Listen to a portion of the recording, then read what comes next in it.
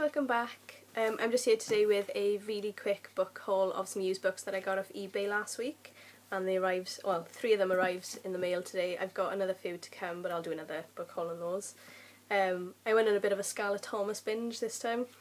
Um, I've read so many good reviews about a book, so I thought I would just check them out myself. So the three that I have for you today are Going Out, Bright Young Things, I'm really annoyed that this sticker just won't come off and I hate having stickers on my books but hey ho. And this final lovely hardback of Our Tragic Universe and it's got these really nice black pages as well.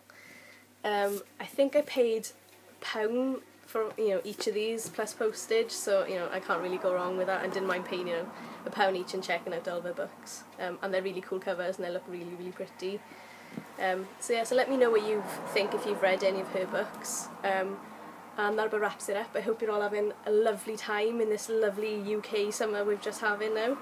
Um, and I will speak to you all soon. Bye!